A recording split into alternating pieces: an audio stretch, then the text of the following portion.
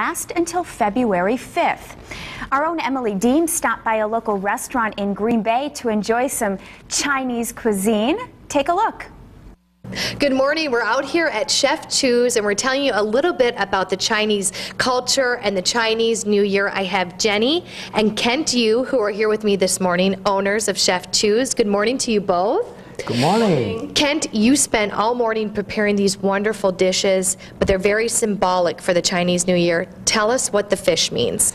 The fish is supposed to symbolize the family always being able to support themselves and to always have the money in their pocket. Okay, and then the shrimp is used to symbolize the dragon in China. Now our next one, the noodles. Noodles are very The important. noodle, the long noodle, you know, means the long leaf for, for everyone. And our next one, this one is very interesting to me. What's all in this dish? Yep, that's the, we call that one evergreen. Evergreen. Yep, evergreen. You know, that one, this dish supposed to symbolize the yo for everyone, Another thing that's great with the Chinese New Year, if you come out here at Chef Chu's, kids, you get a real Chinese dollar. Jenny, tell me about that. Okay, this is all you know the uh, the money you know we call you know the lucky money. Uh, the first I will say Happy New Year, okay, and then Gong Hei Fat Choi.